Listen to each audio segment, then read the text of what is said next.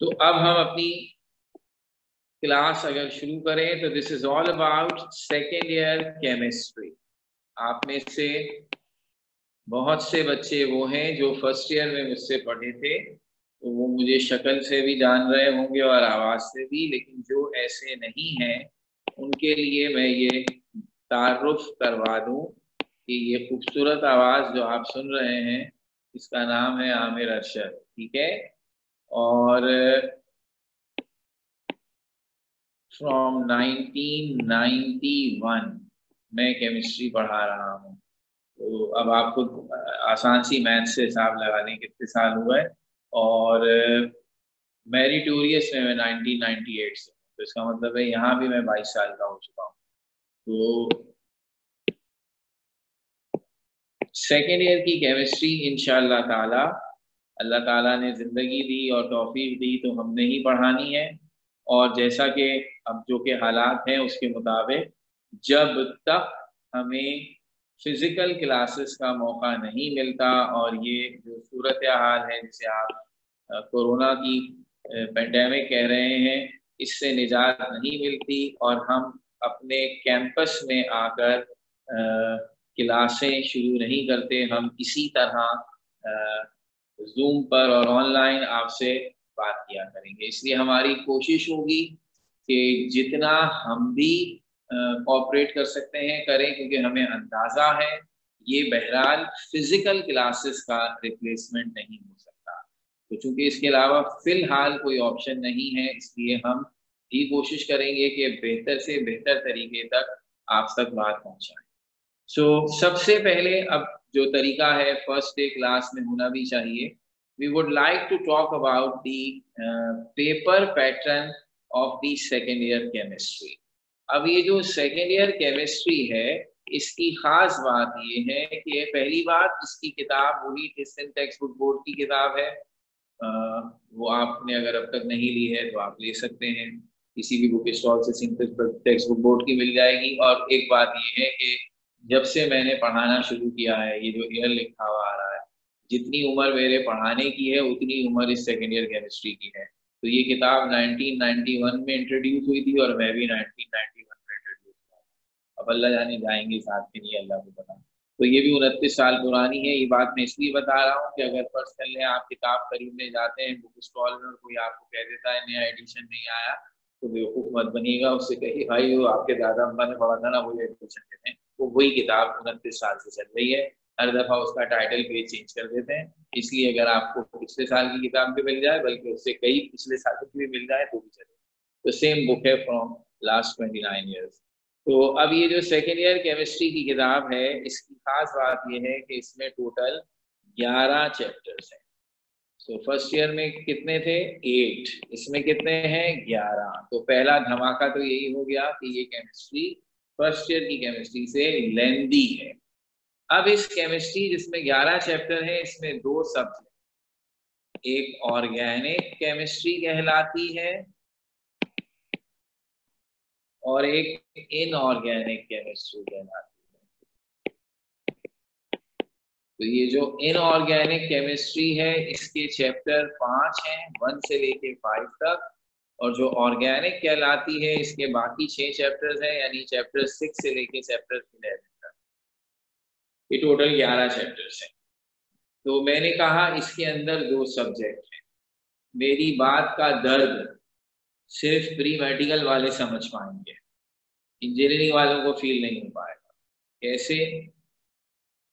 सबको पता है इंजीनियरिंग में जो बच्चे पढ़ते हैं, उनसे पूछें कि आपके सब्जेक्ट्स में और मेडिकल के सब्जेक्ट्स में क्या फ़र्क है तो वो कहते हैं, हम बायोलॉजी नहीं पढ़ते, हम मैथ्स पढ़ते हैं और मेडिकल वाले बायोलॉजी पढ़ते हैं, जो कि जुमला कुछ सही नहीं है। ना ये बायोलॉजी वाले फील कर सकते हैं। बायोलॉजी वाले इसके जवाब में कहते हैं, जी नहीं, आप मैथ्स पढ़ते हैं और एक पेपर देते हैं। हम बॉटनी और जोलॉजी पढ़ते हैं और उसके दो अलग अलग पेपर अब आप स्टेटिस्टिकली कह दें कि वो पचास पचास नंबर के पेपर हैं तो टोटल तो सौ नंबर ही बने, हम सौ नंबर का एक इकट्ठा पेपर दे देते हैं, एक तसल्ली देने के लिए तो ठीक है, लेकिन मैंने कहा ना, ये दर्द वही समझ सकता है जिसको गुजरती है। ये दो अलग अलग सब्जेक्ट है। दो दो घंटे के पेपर होते हैं, लेकिन सिलेबस का कंटेंट जितना रट्टा बायोलॉजी वाले लगाते हैं, ये इंटायरली दो डिफरेंट सब्जेक्ट्स हैं। किताब इन्होंने एक बनाई हुई है लेकिन ये दो अलग अलग सब्जेक्ट हैं, इसलिए तय हुआ कि बेशक दो दो घंटे का सही, लेकिन दो अलग अलग पेपर हैं। ये फैसला बायोलॉजी वालों ने कर दिया और उस पर अमल हो रहा है। उसके नतीजे में मेडिकल वालों का एक पेपर ज़्यादा होता है। लेकिन वो इसे बोझ समझे, लेकिन ये उनके लिए आसानी हो गई कि उन्हें बायोलॉजी का लेंदी सब्जेक्ट दो हिस्सों में देना पड़ता है। सोचिए, अगर आज ऐलान हो जाए कि आपको एक बायोलॉजी का पेपर देना होगा और वो होगा वही बॉटनी जोलॉजी मिक्स करके एक ही दिन दे देंगे तो अब आपको ख्याल आएगा सर मुश्किल हो जाएगी। अभी तो कम से कम ये होता है कि बॉटनी और जोलॉजी के बीच में चलो, दो दिन का भी गैप होता है तो हम बॉटनी अलग याद करते हैं जोलॉजी अलग एक ही दिन में हो गया, कितनी मुश्किल तो वो जो मुसीबत हो जाएगी, अगर ऐसा कर दें, वो मुसीबत सेकेंड ईयर की केमिस्ट्री में हो रही है। जिस तरह बायोलॉजी में बॉटनी और जोलॉजी दो अलग अलग सब्जेक्ट हैं और दे नीड सेपरेट अटेंशन और आप उसका फ़ायदा उठाते हैं। इसी तरह केमिस्ट्री में ऑर्गेनिक और इनऑर्गेनिक बिल्कुल दो अलग अलग सब्जेक्ट जिनका उसूली तौर पर दो अलग अलग पेपर लेने चाहिए, इसी तरह दो घंटे दो घंटे। तो अगर ऐसा करें तो बेशक आपका पेपर एक बढ़ जाएगा, लेकिन आपको सहूलत ये हो जाएगी कि आप दो हिस्सों में तैयारी करेंगे तो तैयारी आसान होगी, एक एक सब्जेक्ट लेकिन ऐसा नहीं होता, पेपर में दोनों साथ होते हैं और उससे क्या परेशानी आती है, ये इस साल आपको तजर्बा हो जाएगा।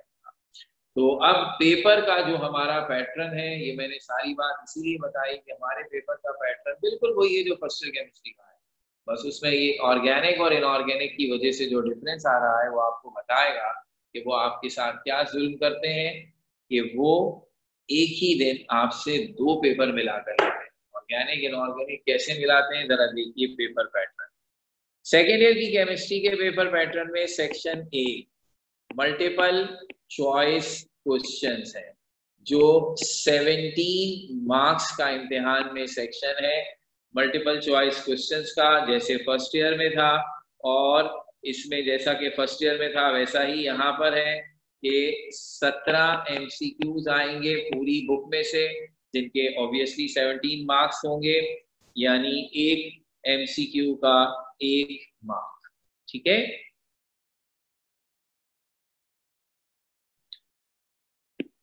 ये एक बात हो गई अच्छा इस सेवनटीन एमसीक्यूज में रैंडमनेस है। इसमें उन्होंने ऑर्गेनिक और इनऑर्गेनिक में डिवीज़न नहीं रखी है। लेकिन अमूमन ऐसा होता है कि ये एट प्लस नाइन का कॉम्बिनेशन या तो कभी आठ सवाल इनऑर्गेनिक के होते हैं और नौ ऑर्गेनिक के टोटल होंगे सेवनटीन या नौ और इनऑर्गेनिक के होंगे आठ ऑर्गेनिक के टोटल ये ख्याल रखते हैं। लेकिन ये मिक्स होता है। सेक्शन बी जिसको आप कहते हैं शॉर्ट क्वेश्चन आंसर ये टोटल 40 मार्क्स का है। फ़र्स्ट ईयर में भी था। चार मार्क्स का एक शॉर्ट क्वेश्चन टोटल दस करने होते थे। ठीक है, लेकिन अब यहाँ क्या इन्होंने नयापन लाए?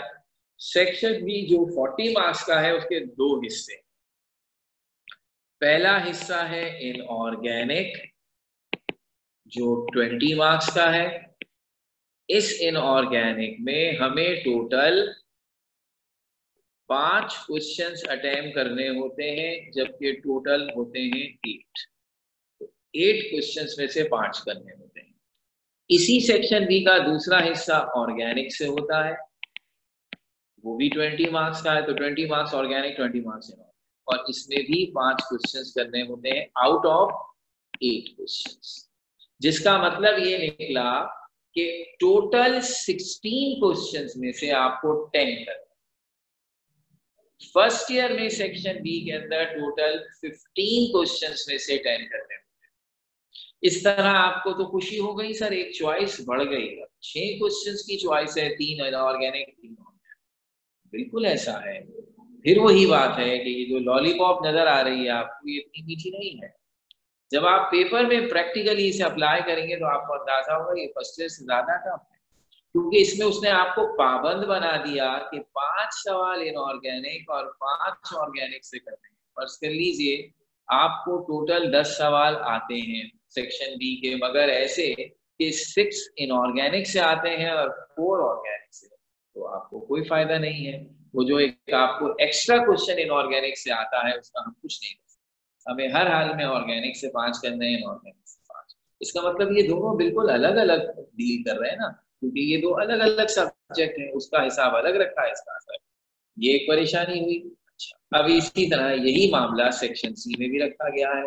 Section C long question answer या डिस्क्रिप्टिव क्वेश्चन आंसर कहलाता है, जिसके 28 मार्क्स होते हैं और उसमें 14 14 मार्क्स के दो क्वेश्चंस करने होते हैं। जैसे कि फ़र्स्ट ईयर में था तो फ़र्स्ट ईयर में टोटल इस सेक्शन में तीन सवाल होते थे, जिसमें से आप दो करते थे 14 मार्क्स ईच यहाँ क्या हो रहा है कि सेक्शन सी में भी आपके दो हिस्से हैं, एक इनऑर्गेनिक और इनऑर्गेनिक में आप टू क्वेश्चंस आपके को करना है, एक सवाल out of two one question out of two question चौदह मार्क्स और इसी तरह इसी सेक्शन में है organic same one question out of two question और फोर्टीन मार्क्स तो अब फिर आपको खुशी महसूस होगी सर, इसका मतलब है टोटल चार सवाल सेक्शन सी में है और हमें दो जबकि फ़र्स्ट ईयर में तो तीन होते थे और हम दो करते थे। तो सर, ये तो चॉइस बढ़ गई। बिल्कुल चॉइस तो बड़ी है। लेकिन उस चॉइस को बढ़ाकर उन्होंने जो ये पाबंदी लगाई है आप ऑर्गेनिक इन ऑर्गेनिक की इसकी वजह से मामला ओवरऑल मुश्किल होता है। अब आप बाउंड हैं कि आप इन ऑर्गेनिक दोनों को सेपरेट अटेंशन देंगे और दोनों से एक एक सवाल आना चाहिए।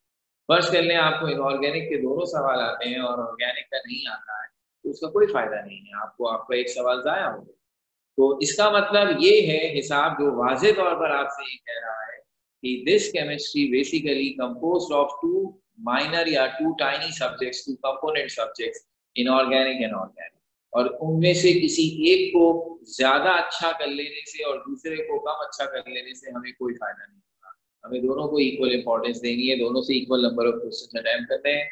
और ये बात मैं इसलिए कह रहा हूँ कि ज़रूरी है और मुश्किल है क्योंकि ये दोनों केमिस्ट्रीज का मिजाज अलग है।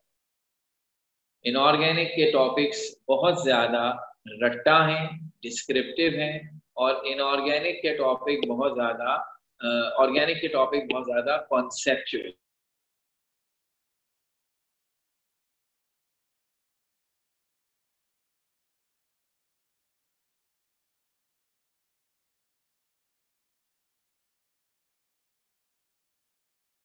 ओके okay, मैंने इसे म्यूट किया था कुछ थोड़ी देर के लिए फॉर एन एमरजेंसी कॉल अब मैं दोबारा बात शुरू करता हूँ। तो अब ये जो पेपर का पूरा पैटर्न है, ये इस बात का तकाजा करता है कि इनऑर्गेनिक बहुत ज़्यादा रट्टा है। तो उसके अंदर डिस्क्रिप्टिव मटेरियल ज़्यादा है, याद करने का ज़्यादा है, लेकिन वो कंपैरेटिवली आसान है। यानी उसके क्वेश्चन स्ट्रेट फॉरवर्ड है, ठीक है? लेंदी है, आपसे कहा जाएगा यहाँ से यहाँ तक याद कर लें, लेकिन ये इतमान हो जाएगा कि सवाल एज इट इज़ इसी तरह पेपर में आ जाएगा और हमें ये ढाई सौ याद है तो हम ये आपको एहसास होगा कि ये आसान बात है, क्योंकि ऑर्गेनिक बहुत ज़्यादा कॉन्सेप्चुअल होगी और उसके सवाल बहुत ज़्यादा कन्फ्यूजिंग अंदाज से आते हैं। और बाज अवत एक बच्चे के लिए ऐसा भी होता है कि वो सवाल उसे आता था, लेकिन वो क्वेश्चन की लैंग्वेज से समझ ही नहीं पाया कि क्या लिखना है। तो इस लिहाज से वो थोड़ा मुश्किल बनता है। तो अब ये एक बड़ा अच्छा संगम हो गया और हमें दोनों में बराबर बराबर अटेंशन देनी है। अगर हम बहुत अच्छे दिमाग वाले हैं और रट्टा हमारा अच्छा नहीं है तो हमारा होगा कि जी ऑर्गेनिक में ज़्यादा सवाल हो रहे हैं इन ऑर्गेनिक में काम, ये भी नहीं चलेगा। हम रट्टा अच्छा लगाते हैं कॉन्सेप्चुअल चीज़ों में मुश्किल हो जाती है तो भी फंसेंगे, क्योंकि दोनों को बराबर अटेंशन देनी है। तो अब ये हो गया पेपर का पूरा पैटर्न फ़र्स्ट ईयर के मुकाबले में सेकेंड ईयर की केमिस्ट्री ओवरऑल लेंदी तो है ही, आठ की जगह ग्यारह चैप्टर है, और क्वालिटी वाइज भी के दो सब्जेक्ट पढ़ने पड़ेंगे, वहाँ सिर्फ़ एक जनरल केमिस्ट्री या फ़िज़िकल केमिस्ट्री कहलाती थी, वो जो फ़र्स्ट ईयर में पढ़ते थे, और अब ऑर्गेनिक एंड ऑर्गेनिक है। लेकिन एक और बड़ा अहम फैक्टर है, और वो फैक्टर ये है इस केमिस्ट्री में एक भी नोमेरिकल नहीं है। There is no numerical no need of calculator this time for chemistry first year के तकरीबन सारे चैप्टर्स में न्यूमेरिकल थे, यहाँ अब ये बात कुछ लोगों के लिए इंतहाई सुकून का बारिश बनेगी। और कुछ लोगों के लिए थोड़ी थोड़ी उलझन का बारिश बनेगी। तो भाई, जो बच्चे अच्छा मैथमेटिकल बैकग्राउंड रखते हैं और न्यूमेरिकल्स में उन्हें प्रॉब्लम नहीं होती और वो उसे आसानी से अटेम्प्ट कर लेते थे, उनको लगेगा एक एडवांटेज मिस हो गया। और जिन्हें नोमेरिकल से फ़र्स्ट ईयर में ही नफरत हो गई थी कि क्या मुसीबत है नोमेरिकल तो हो ही नहीं पाते, हमसे कुछ सही समझ ही नहीं आता और याद करने में कंफर्टेबल है, उन्हें बड़ा अच्छा लगेगा। लेकिन मैं आपको बता दूँ, दोनों के लिए ये अच्छी खबर नहीं है। क्योंकि अगर इसमें नोमेरिकल नहीं है तो फिर सर है क्या? सोचने की बात है ना? तो इसमें केमिस्ट्री का वो टॉपिक है जो केमिस्ट्री की असल पहचान है। और वो क्या है? केमिकल रिएक्शंस या कहिए केमिकल इक्वेशंस तो ये पूरी केमिस्ट्री रिएक्शंस और इक्वेशन से भरी पड़ी है। ऐसे भरी पड़ी है कि मैं ये कहता हूँ अजरा मज़ाक, कि अगर मैं सेकेंड ईयर की केमिस्ट्री की किताब से सारे रिएक्शंस और इक्वेशंस निकाल दूँ तो पीछे सिर्फ़ कौमी तराना बचेगा। केमिस्ट्री की किताब के आखिरी पेज पे लिखा होता है ना पाक सर, ज़मीन, चार बार बस वो बचेगा। यानी इसका मतलब है, हमारा हर टॉपिक रिएक्शन से मुतालिक है इक्वेशन से मुतालिक है। मतलब ये थोड़ा सा मैंने इसमें छूट मिला दिया है, लेकिन हकीकत ये है कि if not hundred percent then ninety percent of the topics are based on chemical reactions और केमिकल रिएक्शंस या इक्वेशंस फ़र्स्ट ईयर में आई तो थी सवाल में होती थी, अगर आपको याद हो, हम जब करते थे केमिकल स्टीशियोमेट्रिक एंड न्यूमेरिकल वो मास मास रिलेशनशिप और लिमिटिंग रिएक्टेंट तो सवाल में इक्वेशन लिखी होती थी। तो ऐसा नहीं है कि अभी इक्वेशंस को हम जानते नहीं या पहचानते नहीं, वो हर न्यूमेरिकल में होती थी। केमिकल इक्विलिब्रियम के न्यूमेरिकल होते थे इक्वेशन लिखी होती थी। वो Hess's law of constant heat of summation के न्यूमेरिकल होते थे तो चार चार इक्वेशन लिखी होती थी। लेकिन फ़र्स्ट ईयर में ये इक्वेशंस अमूमन क्वेश्चन में गिवन होती थी। हम उससे रिलेटेड कैलकुलेशंस या न्यूमेरिकल्स करते थे। अब ये हमारा टॉपिक है। अब हम इन इक्वेशंस को एज ए टॉपिक पढ़ेंगे एज ए टॉपिक इनसे डील करेंगे। तो अब इनके रट्टे लगाने पड़ेंगे और सच्ची बात है, झूठ नहीं बोलूँगा। उनतीस साल से पढ़ा रहा हूँ केमिस्ट्री और सिर्फ़ पढ़ा नहीं रहा हूँ। ये समझ लीजिए कि मेरी तो रोजी रोटी यही है ना। जो कुछ भी मैं आज हूँ किसी भी लिहाज से उसके पीछे केमिस्ट्री है तो मुझसे ज़्यादा केमिस्ट्री की कोई इज़्ज़त नहीं करेगा। मैं नहीं समझता मेरे जैसे आदमी के अलावा अगर कोई है ना केमिस्ट्री से प्यार करने वालों की लिस्ट बनाए मेरा नाम ज़रूर शामिल हो मैं तो सब कुछ इसी की वजह से हूँ। मैं आपको पूरे वसूख से कह रहा हूँ, चाहे आप कुछ भी कहें तो ना मक्खन वक्खन भी लगाते हैं टीचर्स को बच्चे। कुछ भी हो जाए केमिस्ट्री में इक्वेशन पढ़ने में कम अज कम मज़ा नहीं आता। ये कोई मुझसे कह दे कि, सर, आप कितनी अच्छी केमिस्ट्री पढ़ाते हैं। आपने हमें इक्वेशन पढ़ाई थी ना, बड़ा मज़ा आया था। तो या तो वो शख्स झूठा है, या पागल हो गया है। क्योंकि कोई आदमी अपने होशो हवास में ऐसी बात नहीं कह सकता। मैं पढ़ाता हूँ, मुझे पता है। कम अज कम रिएक्शंस पढ़ने में, याद करने में मज़ा नहीं आता। ये कम अज कम मज़ेदार चीज़ नहीं है। इसकी मिसाल बिल्कुल वैसी है, जैसे इंजेक्शन लगता है ना किसी को। दर्द होती है। तकलीफ़ वाला काम है। लेकिन माँ अपने छोटे से बच्चे को भी इंजेक्शन लगवाते हैं ना, जब छोटा होता है सारे जो वैक्सीनेशन करानी उन्हें पता है बच्चे को तकलीफ़ हो रही है, लेकिन क्यों लगवाते हैं क्योंकि उनको पता है ये इंजेक्शन की थोड़ी सी तकलीफ़ आगे उनके लिए कितनी राहत का बायस बनेगी। उनकी ज़िंदगी के लिए कितना ज़रूरी है। बीमार हो जाए कोई तो डॉक्टर ने इंजेक्शन लगाना है। बेशक उसको तकलीफ़ हो रही हो, लेकिन थोड़ी तकलीफ़ उठाएगा, बड़ी तकलीफ़ से बच जाएगा। हमारे लिए यही हिसाब है कि ये बोर होगा, ये याद करना आसान नहीं होगा, हमें पसंद नहीं आएगा याद करने में इंजॉयमेंट नहीं हो रही होगी, लेकिन ये थोड़ी सी तकलीफ़ बर्दाश्त करके हम जो कुछ सीख जाएँगे, वो आगे हमारे बड़े काम आएगा।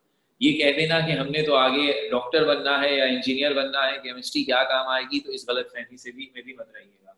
ठीक है केमिस्ट्री एज अ सब्जेक्ट शायद आगे हमारे करियर का मेन ना हो, लेकिन बायोलॉजी में जो कुछ भी बायोलॉजी वाले पढ़ेंगे मेडिकल के अंदर, बगैर रिएक्शंस के वो कुछ भी नहीं है। वो सारे रिएक्शन ही हैं जो एक लिविंग सिस्टम के सारे निज़ाम, सारे सिस्टम चलाती हैं, चाहे वो डाइजेस्टिव सिस्टम हो रेस्पायरेटरी सिस्टम हो, सब में रिएक्शन इन्वॉल्व है। वो एक फोटोसिंथेसिस के रिएक्शन में सारी बॉटनी आपने बना के रखी तो इसका मतलब है रिएक्शन से किसी की जान नहीं छोड़ती इसी तरह जो केमिकल इंजीनियर है, जो इंजीनियरिंग साइड पे बच्चे जाते हैं, उन्हें भी केमिस्ट्री के रिएक्शन के साथ पाला पड़ता है। एक छोटी सी एग्ज़ाम्पल दे दूँ, जो रस्टिंग की एग्ज़ाम्पल है, लोहे को जंग लगना है, ये लोहा कौन सा इंजीनियर है जो इस्तेमाल नहीं करता? आप सिविल इंजीनियर बनेंगे तो आपको इस्तेमाल, आपको आपका काम ही इसी सरिये से है, सारी कंस्ट्रक्शन में इस्तेमाल करेंगे। अगर आप इलेक्ट्रिकल इंजीनियर बनते हैं तो यही मेटल्स की वायरिंग होगी और इसी से आप अपने सारे सर्किट बनाएँगे। ये मेटल्स ही इलेक्ट्रिसिटी के कंडक्टर हैं। और अगर ये रस्टिंग या करोजन कर लें, जो कि केमिकल रिएक्शन है तो ये मेटल खराब हो जाते हैं। तो एक इंजीनियर को अपनी लाइफ के हर एस्पेक्ट में इन रिएक्शंस की नोहा होनी चाहिए। तो ऐसा कहना कि ये हमारे आगे काम नहीं आएँगे, ऐसा नहीं। ये रिएक्शंस पढ़कर आप जो कुछ सीखेंगे इनशाला वो हर फ़ील्ड में हमारे तो अब चूँकि ये एक ऐसा स्टफ़ है, मैंने ही कह दिया आपसे कि it's not very interesting in the way कि हम इंजॉय करें तो उसे हमें इंजॉयबल बनाने की कोशिश करनी होगी। हम कोशिश करेंगे, अब फ़िज़िकल क्लासेस में तो ऐसा मुमकिन हो जाता है कि इंटरेक्शन अच्छी होती है तो हम कुछ लतीफ़े भी सुना देते हैं इंजॉय भी कर लेते हैं, ताकि बच्चे डाइल्यूट फिजा में थोड़ा सा रिलैक्स फिजा में पढ़ें। अब सिर्फ़ वही बात है कि इसीलिए हमने आपसे कहा कि we want to see you क्योंकि आपके कैमरेज ऑन हो और हम आपकी शक्ल देख रहे हो, ताकि थोड़ा सा हम इंटरक्टिव माहौल बनाएँ। ये ज़रूरी है। तो चीज़ों को एंजॉय करने लगेंगे। काम तो करना ही है। आँसू बहा के करें या हंस के करें, लेकिन हर हाल में ये केमिस्ट्री तो पढ़नी है in order to achieve the target of our life जो आगे हमें देखना है। तो इसलिए कोशिश करेंगे कि हँसते गाते चीज़ें पढ़ें। ये हो गया पेपर पैटर्न ये हो गया हमारा इंट्रोडक्शन अब हम चलते हैं आगे। और बात को शुरू करते हैं। हमने आपसे कहा कि इस साल जो दो केमिस्ट्रीज हमें पढ़नी है वो है इनऑर्गेनिक और ऑर्गेनिक तो अब ये क्या बना है? हम चाहेंगे कि इनको थोड़ा सा पहले इंट्रोड्यूस करें। हमारा पहला मसला होगा कि हम इनऑर्गेनिक पढ़ेंगे, उससे शुरू करेंगे चैप्टर वन से, लेकिन उसका थोड़ा सा बैकग्राउंड बता के तो भाई ऐसा है कि केमिस्ट्री जब हम फ़र्स्ट ईयर में भी पढ़ते थे तो पहले दिन यही बात की जाती थी कि केमिस्ट्री है स्टडी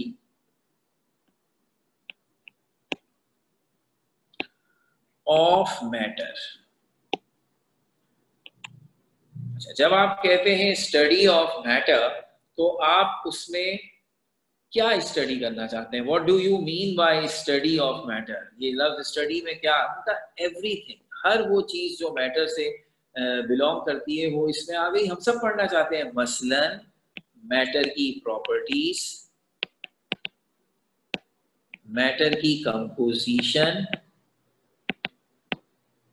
और मैटर्स की चेंजेस अब आपको याद आएगा नाइन्थ क्लास की डेफिनेशन में इसी तरह बात बनाई गई थी कि chemistry is the branch of natural science which deals with the study of properties composition and changes of matter अब ये प्रॉपर्टीज़ कंपोजिशन चेंजेस तीनों की तीनों दो तरह की होती हैं।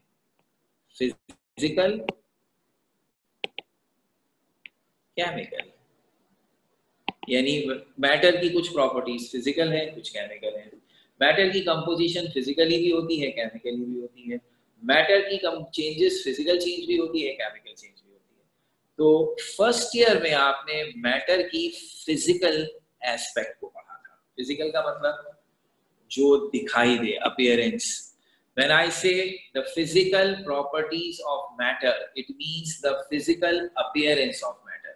Matter दिखाई कैसा देता मैं और आप भी मैटर ही है ना? हम लिविंग मैटर हैं बेसिकली है तो मैटर तो हमने आपको देखा, आपने मुझे देखा तो देखने से हमें कौन सी खूबियाँ नज़र आई? हमें नज़र आया कि सामने वाला शख्स गोरा है या काला है। सामने वाला शख्स मोटा है या पतला है, छोटे कद का है या बड़े कद का है, ये वो फिजीक की कैरेक्टरिस्टिक्स हैं जो दिखाई देती हैं, शक्ल से नज़र आ जाता है। ये प्रॉपर्टीज़ तो देख सकते हैं ना ये कहलाती है फ़िज़िकल और केमिकल क्या होंगी? हमारा कैरेक्टर हमारी नेचर क्या आपको मेरी शक्ल देखकर ये पता चलता है कि मैं एक सच्चा और मुखलिस आदमी हूँ? जी नहीं। आपको मेरी शक्ल देख के पता चलता है कि मैं ईमानदार हूँ कभी झूठ नहीं बोलूँगा। जी नहीं। ना मुझे आपकी शक्ल देख के पता चलता है कि आप अच्छे पढ़ने वाले बच्चे हैं, आप सच्चे हैं, आप ईमानदार हैं की शक्ल से नहीं आप झूठे हैं, शक्ल से नहीं चलता। ये बात कब पता चलेगी, किस दिन आप मेरे बारे में या मैं आपके बारे में ये कमेंट कर रहा हूँ कि क्या ज़बरदस्त टीचर है या क्या बेकार टीचर है? जब आप मेरा काम देख लेंगे, मेरा अमल, मेरा एक्शन देखेंगे, आप हफ़्ते भर, महीने भर मुझसे पढ़ेंगे आपकी तक समझ में नहीं आएगा, तब आप हक बजाने होंगे कहने के लिए इनको नहीं आता पढ़ाना तो आप मेरे कैरेक्टर का एक पहलू एक्सपोज करने में कामयाब हो गए। और आपके पास उसकी जस्टिफिकेशन होगी, भाई, मैंने एक महीने पढ़ा, मुझे तो नहीं समझ में आया। और आप इसे अपोजिट ले लें। यहाँ बहुत अच्छे समझ में आ गए नहीं भाई, इनसे तो पढ़ना चाहिए, बहुत अच्छी चीज़ तो भी आपकी, अगर आप मेरी तारीफ़ भी कर रहे हैं तो उसके पीछे आपके पास एक महीने का, हफ़्ते भर का एक एक्सपीरियंस होगा। हमने पढ़ा, भाई, हमारी तो समझ में तो इसका मतलब है जो केमिकल कैरेक्टरिस्टिक जो मेरी नेचर या मेरा इंटरनल कैरेक्टर है, ये एक्सपोज होगा मेरे काम देख कर।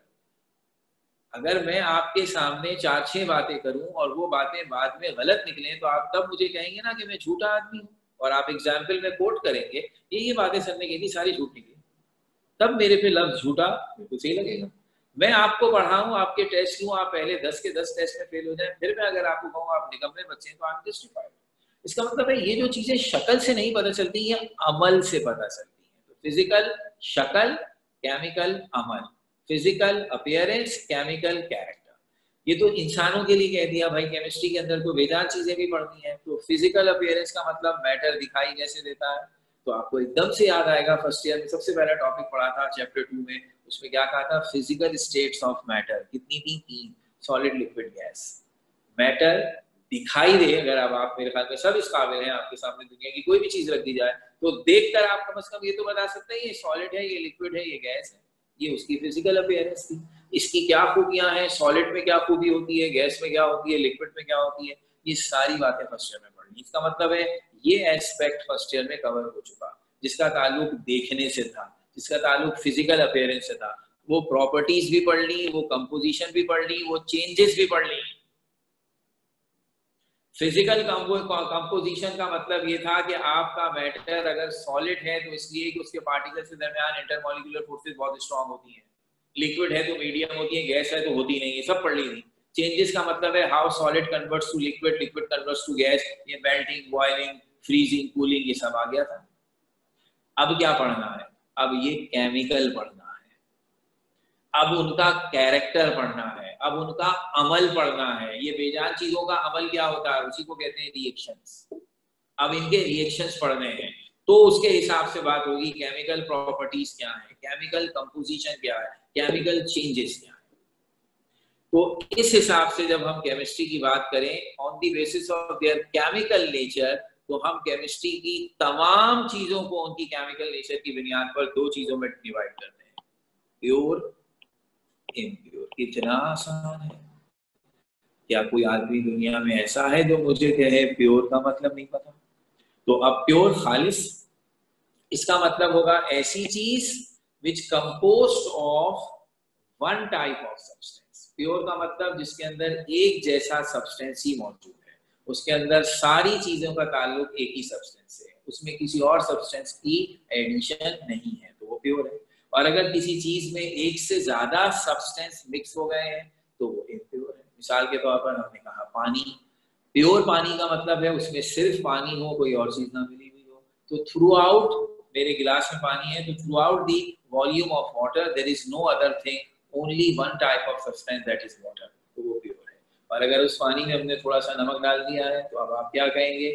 Little salt is also added in water अब ये वाटर प्योर नहीं रहा। ये इम्प्योर फ़ेज़ बन गया वाटर और सॉल्ट का। तो प्योर जितनी भी दुनिया में चीज़ें हैं, वो दो तरह की हैं। On the basis of chemical nature एक कहलाती है एलिमेंट और एक कहलाती है कंपाउंड जबकि इम्प्योर सब्सटेंस जितने भी होंगे, वो सब कहलाते हैं मिक्सचर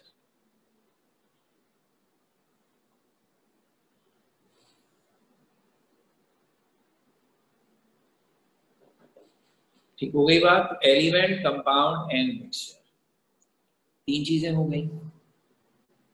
इसका मतलब मैं ये कह सकता हूँ कि on the basis of chemical nature जब हम केमिस्ट्री पढ़ते हैं तो हमारे तीन टॉपिक होते हैं। जैसे जब फ़िज़िकल में पढ़ते हैं तो सॉलिड लिक्विड गैस होते हैं एलिमेंट मिक्सचर कंपाउंड होते हैं। एक और आसान बना लेते हैं बात। ये जो प्योर सब्सटेंस है एलिमेंट कंपाउंड है, बड़े कॉमन लफ्ज और मुझे 99 परसेंट उम्मीद है कि जितने बच्चे इस वक्त सुन रहे हैं उनमें से हर एक को इसकी डेफिनेशन पता है। हो सकता है एक आधा शायद भूल रहा हो। इतने कॉमन लफ्ज हैं नाइन्थ से सुनते हुए लेकिन मैं उसके बावजूद आपको इसकी डेफिनेशन के साथ आगे बात बढ़ाऊँगा। क्यों? वजह आपको समझ में आ जाएगी यही तो मेरा टॉपिक है। अगर एक परसेंट बच्चे को भी इसके नाम से इसका काम नहीं पता चल रहा तो, तो उसको तो सारा सिलेबस समझ में नहीं आएगा। इसलिए मैं ज़रूर बताऊँगा। लेकिन अभी क्या है? ये दो सब्सटेंस है एलिमेंट और कंपाउंड ये है प्योर ये मिक्सचर क्या है असल में? मिक्सचर में ये होगा कि दो एलिमेंट या दो से ज़्यादा एलिमेंट, दो कंपाउंड या दो से ज़्यादा कंपाउंड या एक एलिमेंट और एक कंपाउंड, ये आपस में कंबाइन हो जाएँ तो ये मिक्सचर बनाते हैं। इसका मतलब मिक्सचर किससे मिलके बना है? एलिमेंट से ही और कंपाउंड से ही। तो मिक्सचर के अंदर भी एलिमेंट कंपाउंड है। तो अगर मैं एलिमेंट और कंपाउंड पढ़ लू प्योर तो समझिए मिक्सचर की भी बातें पता चल गई, क्योंकि वो मिक्सचर भी इन्हीं दोनों से मिलकर बना हुआ है। तो असल में इस केमिस्ट्री का जो मौजू होगा, जो असल टॉपिक होगा, वो होगा to study the elements and their compounds mixture खुद ब खुद कवर हो जाएँगे। तो फोकस सिर्फ़ इन दोनों पे हो गया। तो एक एक करके शुरू करते हैं। सबसे पहले बात कर लेते हैं व्हाट इज़ एलिमेंट तो सबसे पहले बात करते हैं, ये एलिमेंट कौन होता है? अंग्रेज़ी के हिसाब से बात करें तो एलिमेंट कहते हैं किसी चीज़ के सबसे सिंपल कंपोनेंट को। जैसे मैं अक्सर कहता हूँ लैंग्वेजेस केमिस्ट्री एक सब्जेक्ट है। इंग्लिश एक लैंग्वेज है। इंग्लिश लैंग्वेज में बहुत सारे वर्ड्स होते हैं। ठीक है ना? डिक्शनरी बनती है पूरी। ऑक्सफोर्ड की डिक्शनरी जो नई वाली आई है ना, कहते हैं उसमें वन मिलियन वर्ड्स हैं। दस लाख वर्ड्स हैं। इसका मतलब उनका दावा है कि इस वक्त इंग्लिश लैंग्वेज जो दुनिया में बोली जाती है, उसमें टेन लैख वर्ड्स हैं। किसी को वो सारे दस लाख वर्ड्स आ जाए, उसकी तो इंग्लिश की क्या बात हो जाएगी? ऐसे ही है ना? लेकिन मैंने एक बार बात की, मैंने कहा, बिल्कुल ठीक है। इंग्लिश की तमाम किताबों में जो भी स्टफ़ लिखा हुआ है सेंटेंसेस की और पैराग्राफ्स की सूरत में, वो सारा वर्ड्स का कॉम्बिनेशन है। Chemistry is the study of natural science ये एक सेंटेंस है। इस सेंटेंस को किसने बनाया? वर्ड्स ने। Chemistry is branch of natural science ये सारे वर्ड्स हैं। मिले तो सेंटेंस बन गया। अच्छा अब ये जो वर्ड्स हैं, जैसे केमिस्ट्री एक वर्ड है। ये किससे मिलके बना? तो आपने कहा, सर इंग्लिश में 26 अल्फाबेट्स हैं. हर वर्ड में उन्हीं अल्फाबेट्स का कंट्रीब्यूशन होता है। तो इस केमिस्ट्री के वर्ड में C H E M I S T R Y ये तकरीबन नाइन अल्फाबेट्स हैं जिनसे मिलकर लव्स केमिस्ट्री बना है। अब अगर कोई आपसे पूछे, ओके, ये जो सी एक अल्फ़ाबेट है, ये किससे मिलकर बना है? सर ये थोड़ी किससे मिलकर बना है। हर लैंग्वेज का जो सबसे बेसिक कंपोनेंट होता है बेसिक फैक्टर होता है, वो उसके अल्फाबेट्स होते हैं। और उन अल्फाबेट्स को मिलाने से वर्ड्स बनते हैं। वर्ड्स को मिलाने से सेंटेंस बनता है। सेंटेंस को मिलाने से पैराग्राफ बनता है। पैराग्राफ को मिलाने से ऐसे बनता है। ऐसे इसको मिलाने से बुक बनती है। ऐसे हो गया ना काम। तो सबसे बेसिक क्या हुआ? अल्फ़ाबेट इससे छोटा तो कोई नहीं होता। तो इंग्लिश की सारी लैंग्वेज बेशक उसमें दस लाख लफ्ज हैं लेकिन वो सारे वर्ड्स जो टेन लैख वर्ड्स हैं, वो किससे मिलकर बने? हैं ट्वेंटी सिक्स अल्फाबेट्स इन्हीं ट्वेंटी सिक्स अल्फाबेट्स के मुख्तलिफ़ कॉम्बिनेशन से वो वन मिलियन वर्ड्स बने। तो ये जो अल्फाबेट्स हैं केमिस्ट्री के सॉरी इंग्लिश के, ये इंग्लिश के सबसे बेसिक और सिंपल कैरेक्टर्स हैं।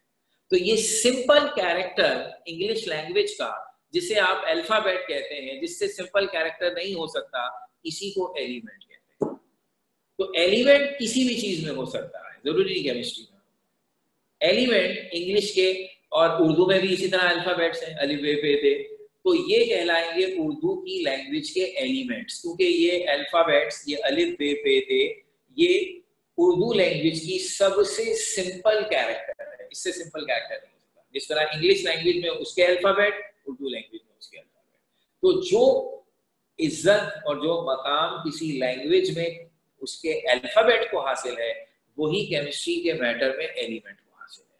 जैसे अल्फ़ाबेट अपनी लैंग्वेज का सबसे सिंपल कैरेक्टर है, उससे सिंपल कैरेक्टर नहीं हो सकता। इसी तरह एलिमेंट को कहते हैं simplest form of matter which can not be decomposed to more simpler form by any physical or chemical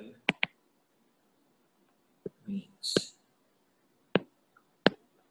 It's the simplest form of matter which cannot be decomposed to more simpler form by any physical or chemical means. यानी ये matter की वो simple form है जिसे आप उससे ज़्यादा simple form में डीकम्पोज नहीं कर सकते, तोड़ नहीं सकते, चाहे आप कुछ भी करें फ़िज़िकल और केमिकल में क्या, कौन से तरीके जनरल है? फ़िज़िकल का मतलब है किसी फ़िज़िकल तरीके से आप अपने एलिमेंट को तोड़ें, हथौड़े मार के तोड़ें ट्रक के नीचे ले आए, उसे किसी क्रशर में डाल दें तो इस तरह तोड़कर आप उस एलिमेंट के मजीद कंपोनेंट नहीं बना सकते। मिसाल के तौर पर गोल्ड एलिमेंट अगर मैं गोल्ड को हथौड़े मार के तोड़ूं, आरे से तोड़ूं, किसी भी तरीके से तोड़ूं, जो उसके टुकड़े बनेंगे, वो भी गोल्ड ही कहलाएँगे। ऐसा तो नहीं होगा छोटे हो जाए तो आप कहेंगे चांदी बन गई। नो वो स्टिल टाइम भी गोल्ड कहलाएँगे। इसी तरह केमिकल मेथड है, आप उनमें से बिजली उगा रहे हैं उनके रिएक्शंस करा रहे हैं, कुछ भी कर दें जो एलिमेंट है, वो एलिमेंट ही रहेगा तो उसका जब कोई और मजीद सिंपल कंपोनेंट है ही नहीं, वो खुद सबसे सिंपल है तो वो किसी भी तरीके से और सिंपल चीज़ में टूटेगा बिल्कुल उसी तरह जैसे इंग्लिश की लैंग्वेज में वर्ड्स की सिंपल फॉर्म अल्फ़ाबेट है, मगर अल्फ़ाबेट से सिंपल कोई चीज़ नहीं है। तो अब आप अपने आसपास कोई भी चीज़ उठा लीजिए। आप जो चीज़ उठाएँगे वो तीन में से कोई एक होगी। या तो वो मिक्सचर होगी, या वो कंपाउंड होगी, या वो एलिमेंट होगी। मिक्सचर और कंपाउंड होगी तो वो अपने से ज़्यादा सिंपल चीज़ में टूटेंगे और उनसे ज़्यादा सिंपल चीज़ होगी एलिमेंट मगर एलिमेंट मजीद सिंप्लीफाई नहीं हो सकेगा। आपके घर में चीनी मौजूद है, चीनी शुगर कंपाउंड है। आप उसे हीट कर दें। आप देखेंगे वो सफ़ेद रंग की चीनी एकदम से काली हो जाएगी और उसके बर्तन के आसपास पानी के कतरे जमा हो जाएँगे। क्यों? क्योंकि चीनी अपने कंपोनेंट्स में डिकम्पोज हो गई कार्बन अलग हो गया, पानी अलग हो गया। इसका मतलब है चीनी कंपाउंड है एलिमेंट नहीं है। एलिमेंट होता तो गर्म करने पर या कुछ और करने पर उसके अंदर कोई तब्दीली नहीं आती। तो इस तरह हमें पता चला एलिमेंट सिंपलेस्ट फॉर्म है मैटर की और हमारी दुनिया में इंग्लिश में अल्फ़ाबेट कितने थे? 92 सॉरी इंग्लिश में अल्फ़ाबेट कितने थे? 26 और हमारी केमिस्ट्री में एलिमेंट कितने हैं? 92 92 नेचुरल एलिमेंट्स हैं। अभी मैं आर्टिफिशियल की बात नहीं कर रहा हूँ, ठीक है? तो ये इसका मतलब ये है कि 26 अल्फाबेट्स आपस में मिलकर 1 मिलियन वर्ड्स बनाते हैं। हमारी केमिस्ट्री में 92 एलिमेंट्स हैं। यानी दुनिया में जितनी भी चीज़ें हैं, वो सब की सब इन्हीं 92 एलिमेंट्स की मदद से बनी है। ठीक हो गई बात? यहाँ हमारा आज के लेक्चर का टाइम खत्म हो रहा है। हम यहीं से इसे कंटिन्यू करेंगे। अगर आपको कोई सवाल पूछना है तो आप रेज हैंड करेंगे। मैं अभी फ़िलहाल ये कर रहा हूँ कि मैंने जो कुछ आपको पढ़ाया, वो कुछ खास अभी तो नहीं लिखा है, लेकिन ये स्क्रीन दोबारा आपको दिखा देता हूँ, ताकि आप देख लेंगे हमने सिर्फ़ ये बताया था पहली कि केमिस्ट्री दो हैं, पहले पाँच चैप्टर इनऑर्गेनिक आखिरी छह चैप्टर ऑर्गेनिक सेकेंड स्क्रीन में हमने पेपर का पैटर्न समझाया section A section B section C में क्या क्या चीज़ें मौजूद हैं। फिर हमने आपको बताया कि केमिस्ट्री को केमिकली अगर हम डिवाइड करें तो मिक्सचर एलिमेंट कंपाउंड या प्योर और इम्प्योर सब्सटेंस में होता है और फिर एलिमेंट की डेफिनेशन तो अब यहाँ से इसे कंटिन्यू करेंगे, इंशाल्लाह अपनी नेक्स्ट क्लास में. Thank you very much